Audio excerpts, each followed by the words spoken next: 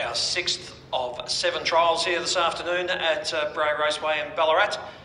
It's for the 51 to 62 rate. It's just the two starters, Shez Kyler from the pole, and it gets away quickly enough to take the lead, and Abstractor it will settle on its back. And we've got the two going around in this uh, trial over 2,200 metres. Uh, Abstractor throwing his head a little bit around there, not, doesn't look that happy. Wants to go a little bit quicker, uh, being restrained for the time being by Mitch Barker as he uh, settles in a little bit better in behind the leader. And that is Shez Kyler in front for Emma Stewart and uh, Kima Frenning. And then takes them uh, into the back straight. 1700 metres to run. And uh, Shez Kyler, three-year-old uh, daughter of Alta Christiano, winner of uh, four of her seven starts and hasn't raced since February this year. So uh, on the way back to the track. And uh, Shez Kyler is in front and doing it uh, as she likes at the moment from Abstractor for trainer Kelvin Barker and driver Mitch Barker.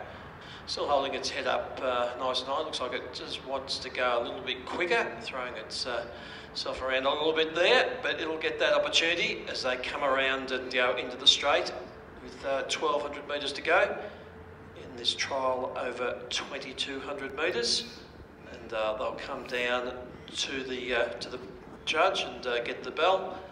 Still no change in, not much change in pace, and certainly no change in order these two came out of the gate, settled in this spot, and uh, they go past the thousand metre mark with uh, Shez Kyler.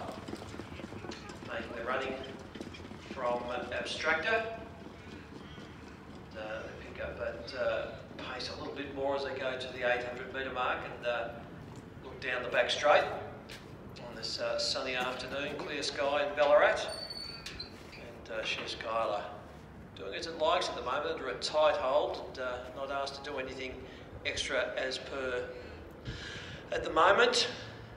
And, uh, goes to the towards the 500 metre mark. Just getting things going a little bit quicker now. Abstractor uh, right on its back, just waiting for its moment to uh, make a challenge if it can. Uh, just dropped probably half a metre off the pace there as they come around the turn as Shez Kyler starts to put its uh, stamp on this trial. Abstractor sticking to its task. That's the main uh, thing at the moment. It's really sticking to the back of that lead, and there's not going to be much between them. They'll go to the line as they race throughout, and it's a good, clean uh, trial by each of these with Shez Kyler going to the line about 10 metres clear of Abstractor.